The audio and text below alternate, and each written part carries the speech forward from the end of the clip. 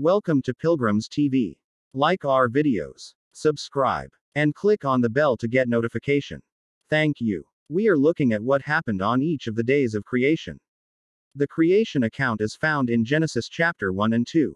Most of God's creative work is done by speaking, another indication of the power and authority of His Word. Let us look at each day of God's creative work. Creation Day 1. Genesis chapter 1 verse 1 to 5. God created the heavens and the earth. The heavens refers to everything beyond the earth, outer space. The earth is made but not formed in any specific way, although water is present. God then speaks light into existence. He then separates the light from the dark and names the light, day, and the dark, night. Creation Day 2. Genesis chapter 1 verse 6 to 8. God creates the sky. The sky forms a barrier between water upon the surface and the moisture in the air. At this point, Earth would have an atmosphere.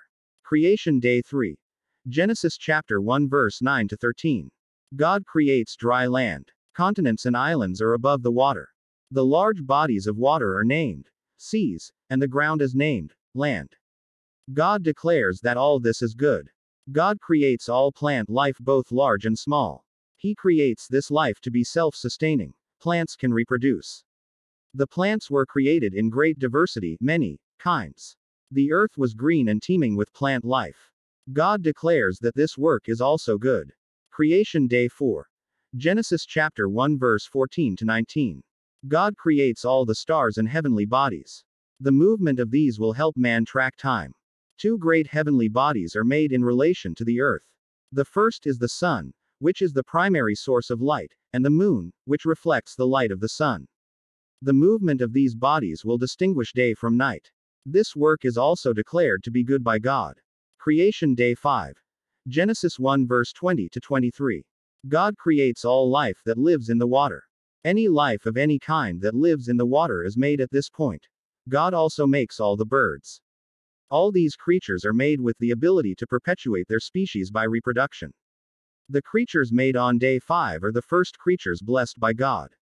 God declares this work good. Creation Day 6. Genesis chapter 1 verse 24 to 31.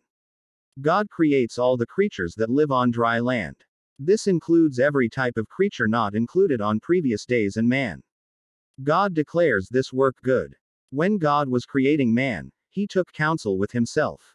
God said, "Let us make man in our image, in our likeness." Genesis 1:26. This is not an explicit revelation of the Trinity but is part of the foundation for such, as God reveals an us within the Godhead. God makes man, and man is made in the image of God, men and women both bear this image, and is special above all other creatures.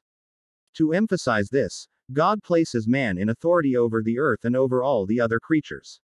God blesses man and commands him to reproduce, fill the earth, and subdue it, bring it under the rightful stewardship of man as authorized by God. God announces that man and all other creatures are to eat plants alone. God's creative work is complete at the end of the sixth day.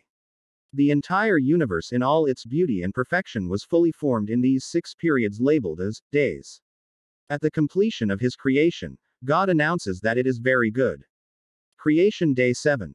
Genesis chapter 2 verse 1 to 3. God rests.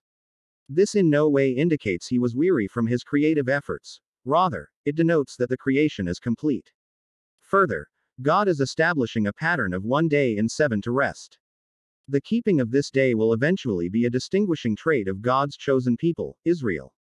Exodus 20. 8 11. Thank you for watching.